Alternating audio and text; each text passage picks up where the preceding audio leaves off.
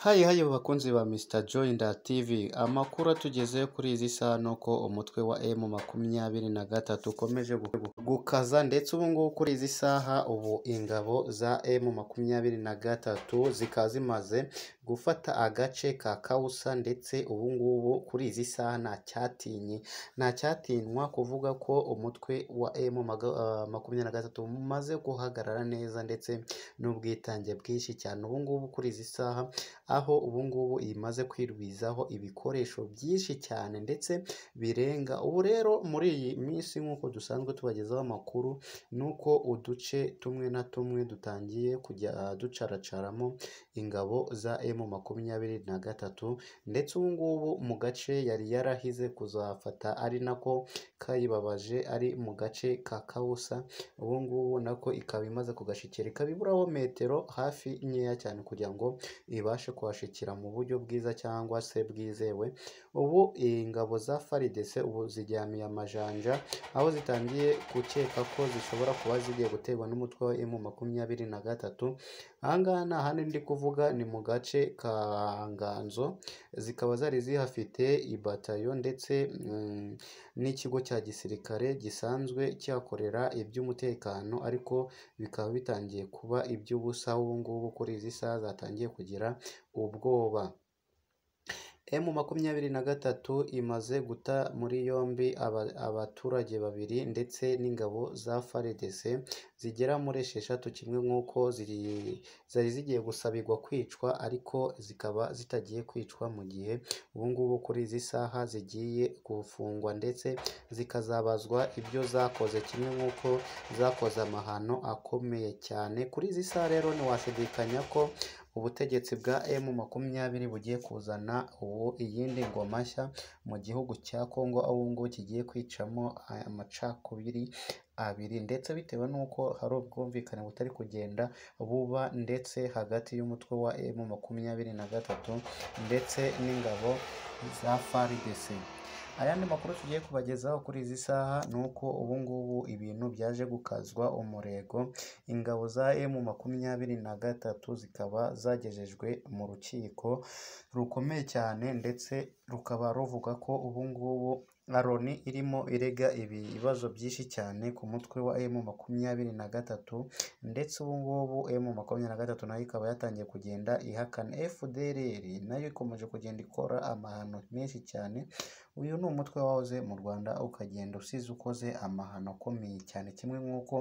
ushaka kongera kuyagarura muri iki gihugu cya Congo ariko bikaba bitapfa kubahira bitewe n'uko izi ngabo za M makumyabiri na gatatu zizi icyo zikora ndetse n'ubushishozi bwinshi cyane ndetse no gukora intambara idasanzwe hagati ya FARDC n'uyu mutwe. Ubu rero FDLR na yo ikomeje kotswa igitutu ndetse no gukabukirwa ndetse ubu ngubu zikaba zimwe na zimwe hasigaye ingereri mu gihe na zo zikomeje kwitaba Imana bitewe n'uko ziri gukora amahano. Ingabo za wazirendo izi ni inyeshyamba za wazirendo igihugu cya Congo zitashatse kugaragaza ko kizaba zikorana n'igisirikare cya FARDC ahubwo bikaba bikorwa mu buryo bw'ibanga ndetse no mu buryo bwo guhishira icyaha basanzwe bakora ndetse bakavuga ko izi nyeshyamba nta rugomo zikora ahubwo izikora urugomo ari M makumyabiri na gatatu ndetse bikaba binavugwa ko ubu ibintu byatangiye kujya bikazwa. Umurego ndetse abaturage bamwe na bamwe bakaba batangiye kujya bagira ubwoba mu buryo bumwe cyangwa se mu buryo bundi ayandi makuru tugiye kubagezaho kuri izi saha ni uko noneho ibintu byaje gukariha ndetse bikaza gufatwa ingamba zitari nziza cyane ari na yo mpamvu ubu ngubu ibintu byaje guhindura isura ingabo za UPDF ubwo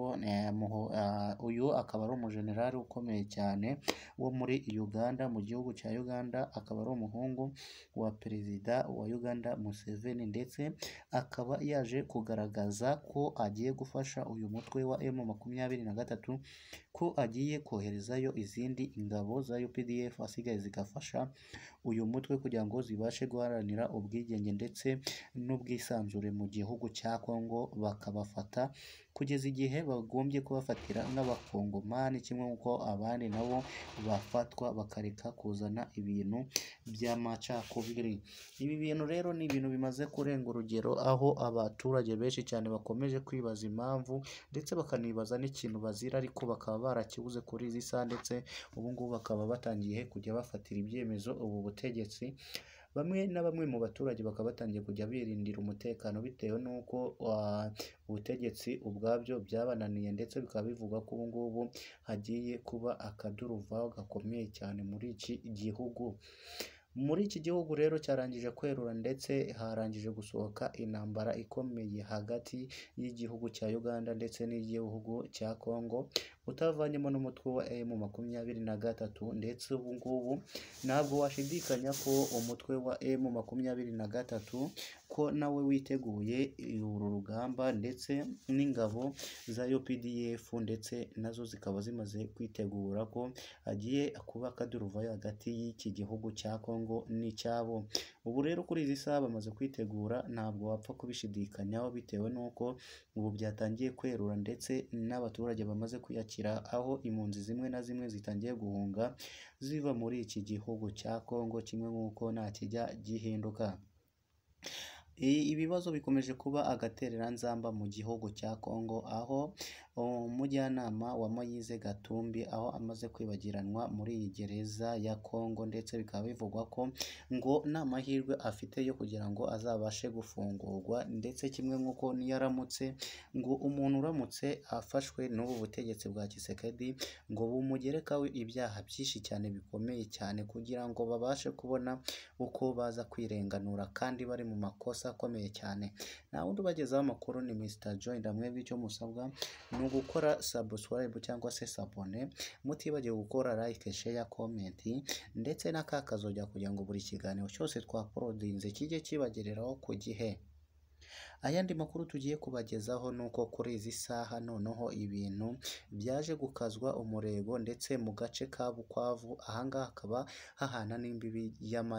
ya Kivu y'Amajyepfo ndetse ubu Kivu y'Amajyepfo aho M makumyabiri na gatatu igihe yari yaje gutangaza koko yahafashe ndetse no mu gace ka Bukwavu uyu mujyi ukaba umaze kwigarurira umutwe wa M makumyabiri na gatatu ndetse bikaba bivugwa ko ibintu bimaze gukazwa umurego ndetse bikaba bimaze kujya mu buryo bwiza cyangwa se bwizewe.